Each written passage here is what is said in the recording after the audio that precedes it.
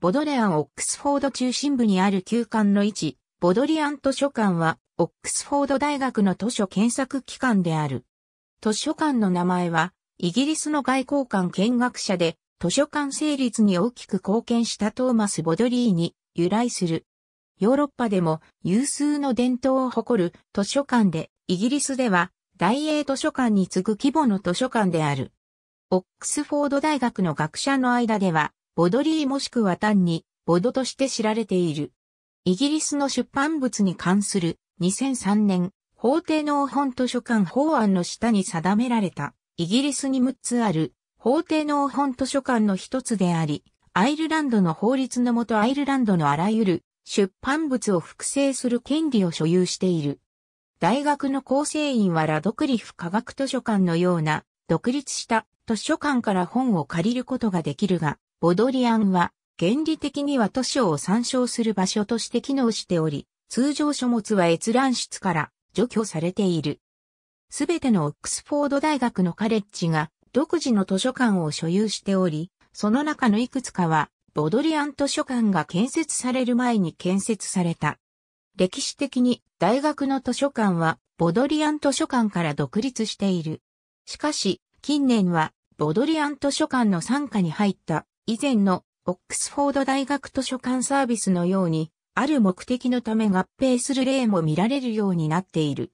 このような合併の有名な例は、オックスフォード図書館情報システムとボドリアングループのすべての図書館の電子カタログを提供していた、ソロが合併してできた図書館統合システムであろう。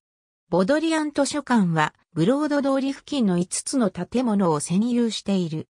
建設時期は、中世後期のハンフリー構図書館から1930年代に建設されたボドリアン図書館新館まで幅広い年代に渡っている。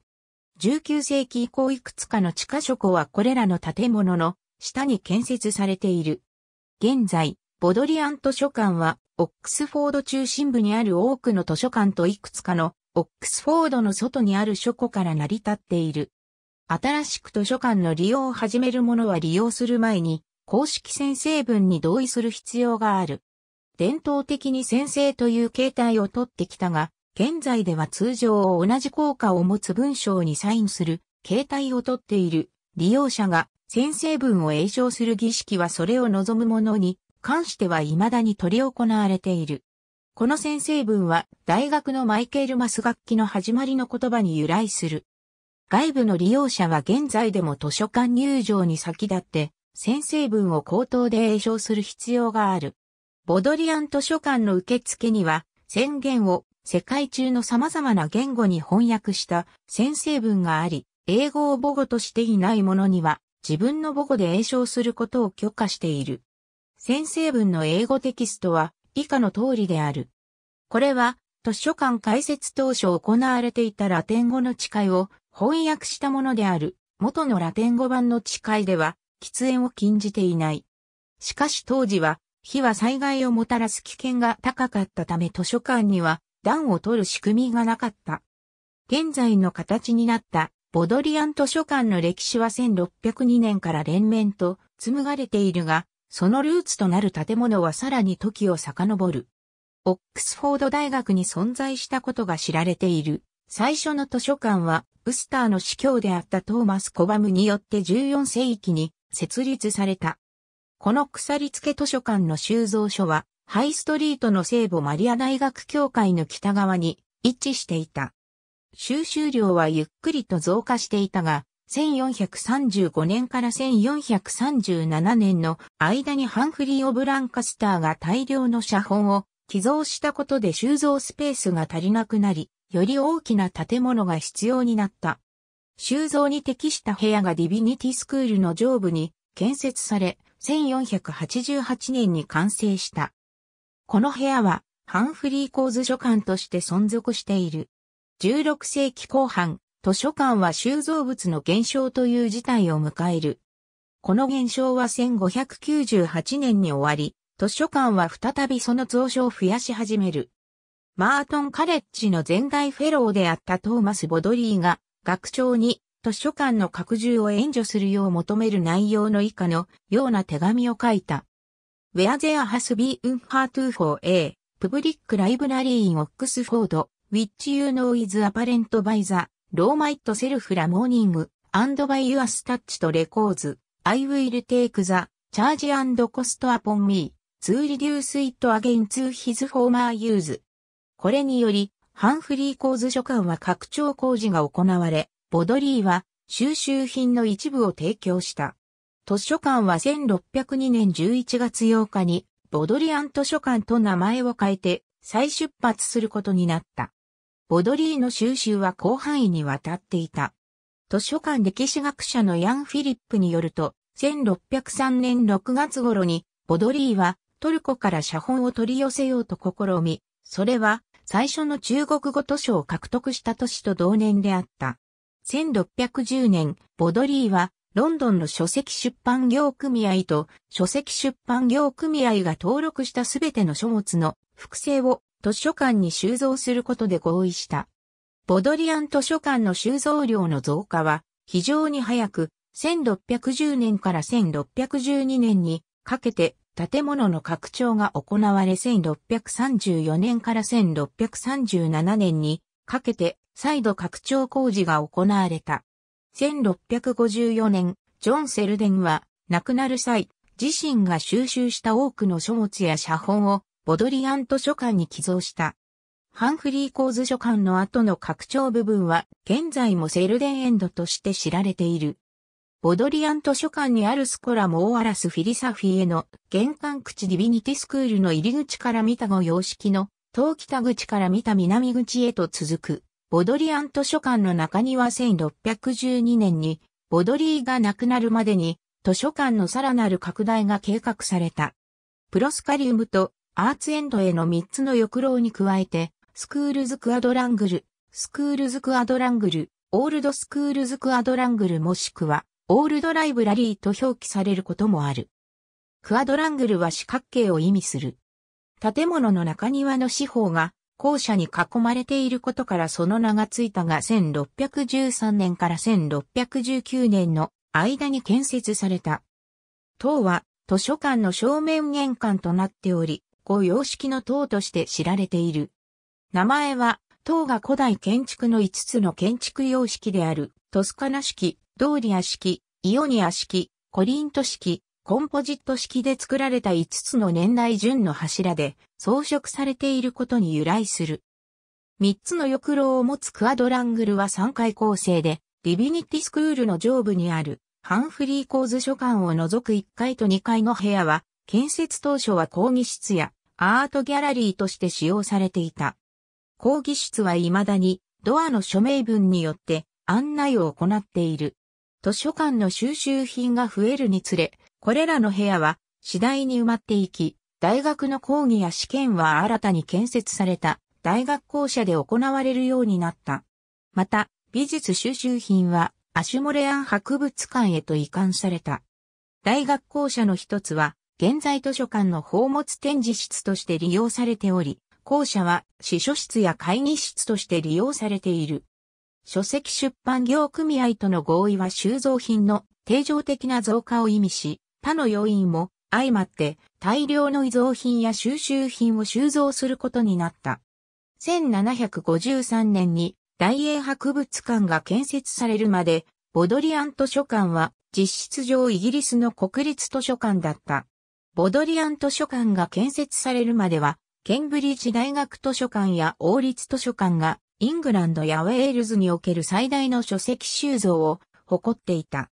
天文学者のトーマス・ホーンズビーは1769年に五様式の塔から金星の太陽面通過を観察した。18世紀の終わり頃、図書館の収蔵品増加により拡張するためのスペースが必要になった。1860年、図書館はラドクリフカメラとして知られる隣の建物の使用許可を得る。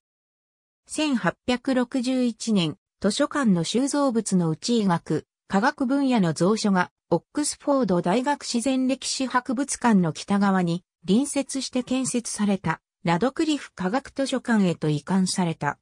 クラレンドンビルディングはニコラス・ホークスムアによって設計され、1711年から1715年までに建設された。この建物は当初オックスフォード大学出版局の印刷所だった。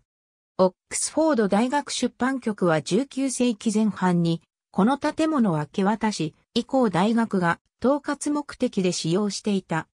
1975年に大学の手を離れ、現在は図書館員のオフィスや会議室になっている。大学内の教会から見たラドクリフカメラ1911年に著作権法案においてボドリアン図書館をイギリスの著作権のある書物の複製を収めなければならない法定納本の義務が発生する6つの図書館のうちの一つとすることで書籍出版業組合と合意した。1909年と1912年の間に地下の書家がラドクリフカメラとラドクリフ広場の間に建設された。1914年に図書館に収蔵された書物の合計は100万点に達した。1920年代にボドリアン図書館は収蔵スペースの拡大が必要となり、1937年、ブロード通りの北東の角にあるクラレンドンビルディングの向かい側に新館の建設を始めた。ボドリアン図書館の新館は建築家のジャイルズ・ギルバート・スコット教によって設計され、1940年に完成した。建物は革新的なジッグラットであり、初夏の60%が1階以下の場所にあった。ブロード通りの地下道は新旧のボドリアン図書館の建物とつながっており、地下道は歩行者用道路と書籍運搬コンベヤー、自動書家電子検索システムが2002年に導入されるまで書籍の検索依頼に使われていた基礎館から成り立っていた。基礎館は2009年7月に撤去されるまでハンフリー校図書館における書籍の検索依頼に使用されていた。2010年に1940年代以降、ブロード通りの地下で本の移動に従事してきたコンベヤーが8月20日で、その役目を終え取り壊されると発表された。ボドリアン図書館の新館は改修工事のため2011年7月29日に閉館した。2011年11月の大規模改修で閉館されている当時のボドリアン図書館新館、ボドリアングループは現在全長 187km の棚に約1100万点の作品を収蔵し、400人以上のスタッフを要する。ボドリアン図書館はイギリスにおいて大英図書館に次ぐ2番目の規模を誇る。収集品の継続的な増加は収蔵スペースの深刻な不足を招いている。現在150万を超える作品がオックスフォード街の場所に収蔵されており、その中にはチェシャーにある使用不可能な岩塩港も含まれている。2007年と2008年に図書館の収蔵物をより大きい保管所へと移管するため、オックスフォード大学図書館サービスは、オックスフォード中心街の南西部にあるアズニーの牧草地に新たな書物の保管所を建設する計画を立案し、建築許可を得ようと試みた。しかし、この計画は失敗に終わり、代わりにスーインドン近郊に建設されることになった。2600万ポンドをかけて建設されたこの保管所は2010年10月に開館し、全長 246km、3224の翼廊と9万5000個の書家、600個の地図、収納棚に120万個の地図と他の作品を収納する大規模保管所となった。ボドリアン図書館の新館は、元の正面玄関の反対側に新しく建設され、読者や訪問者のための施設により良い施設を提供するだけでなく、貴重で壊れやすい収蔵物を保存するための良好な保管所を新しく提供した。2010年3月にボドリアン図書館グループ参加に入ったオックスフォード大学図書館サービスはボドリアン図書館と改名され、ボドリアン図書館外のオックスフォード大学構成施設がボドリアン図書館のブランド名を使用することになった。ボドリアン図書館は著作権に関して厳格な姿勢を貫いている。つい最近まで、複製や過度の手による扱いは収蔵品に損害を与えることになるという懸念から図書館の収蔵物の個人的な写真複写は認められていなかった。しかし現在では、個人利用ならば1900年以降に作成された収蔵物の大部分を複写することができ、1801年から1900年までの間に作成された収蔵物も、特定のものに関しては、図書館員立ち会いのもと複製が可能である。スキャナやデジタルカメラは1900年以降の出版物の大部分で使用が許可されており、デジタルカメラに関してはより古い資料に関しても許可を取れば使用可能である。図書館は1801年以前の大部分の制作物のデジタルスキャンを提供している。図書館の収集品の損壊しやすい品目のほぼすべてについてマイクロフィルムによる複製品が作成されており、これらの作品はオリジナルと置き換えられているためいつでも利用できる。ボドリアン図書館はオックスフォード電子図書館と密な連携をとっており、大学の収集品のうち貴重で珍しい品目の多くにデジタルデータへ置き換える作業が行われている。ボドリアン図書館の図書館長は、ボドリーの司書と呼ばれる。初代司書のトーマス・ジェームズは1599年に、ボドリアン図書館員により選ばれ、1602年に大学が追認した。ボドリーは、司書に対し、someone that is noted and known for a diligent student and in all his conversation to be trusty, active, and discreet, A, graduate also and A linguist, not incomplete with marriage, no with A, benefits of cure な存在であることを願った。しかし、ジェームズは、ボドリーを説得して結婚できるようにし、オックスフォードにある聖アルデーツ教会の牧師になった。これまで総勢24名がボドリーの師匠を務めてきた。司書に求められる勤勉さは年月を経るにつれ、要求水準が上がっている。トーマス・ロッキーは任務に適していないとみなされ、ジョン・ハドソンは無能でないとしても怠惰であると描かれている。また、ジョン・プライスは同時代の学者から自身の責務を定期的に放棄していると告発されている。現在の司書であるサラ・トーマスは2007年に司書として任命された。彼女は史上初の女性のボドリーの司書であり、前任者のレジナルドカーに続いて二人目のオックスフォード大学図書館サービス長との兼任司書となった。アメリカ人のトーマスは、ボドリアン図書館初の外国人司書でもある。ボドリアン図書館は、ドロシーエル・セイヤーズの学寮祭の夜の舞台として利用されているほか、マイケル・ホワイトのイクイノックスでも利用された。コリン・デクスターのモース警部小説、ザ・ウェンチ・イズ・デッドでは、クリスティン・グリーナウェイが提案した図書館の一つが使用されている。J.I.M. スチュワートのオペレーションパックスでは、大詰め部分で実在ではない地下書庫が描かれ、ラドクリフ広場の隠れた斜面路、メンディップクレフトを滑り落ちることで、図書館へと到達する描写がある。J.R.R. トールキンは、オックスフォード大学で心理学を研究し、教授となって以降、ジーザスカレッジに代わりボドリアン図書館が代理で保管していたヘルゲストの赤本に親しむようになる。トールキンは後に自身の作品、指輪物語でウェストマーチの赤本という架空の書物として登場させることになる。現在ではトールキンの原稿の大部分が図書館に収蔵されている。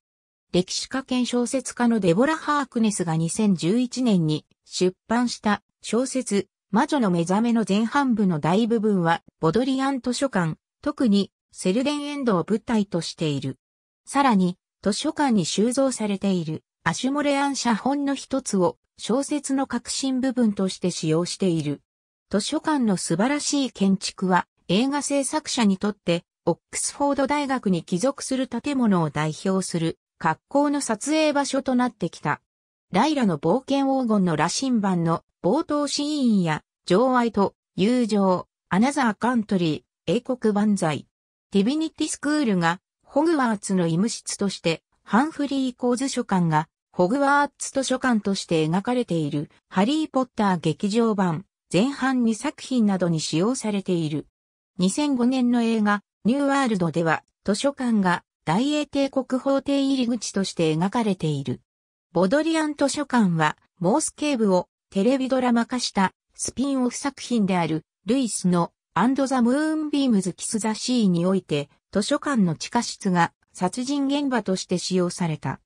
図書館利用者の誓いのラテン語版の最初の数フレーズである、ルー・フィデム・ミーナ・ラーム・リーブラム・ベルは1996年に連続テレビ小説、ガリバーの冒険で使用された。ありがとうございます。